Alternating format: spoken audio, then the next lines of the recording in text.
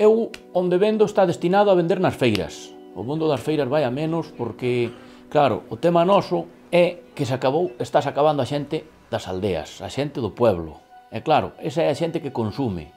Pero non só ferramentas, eh? un, un labrador que vai a, que salga ao campo rompe uns zapatos, rompe unha camisa, eh, rompe un fouciño, en fin.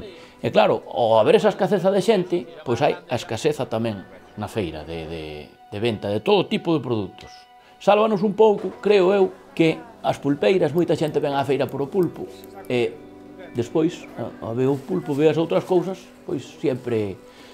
Creo que se non houvese pulpo, xa non habería feiras. Porque feiras de ganado xa, por desgracia, queda pouco, porque é o que decimos, o campo está desolado. E con eso me imagino que o oficio tamén se acabará porque no momento que non teñas a quen venderlle un fouciño ou eso, pois para que os vas a fabricar?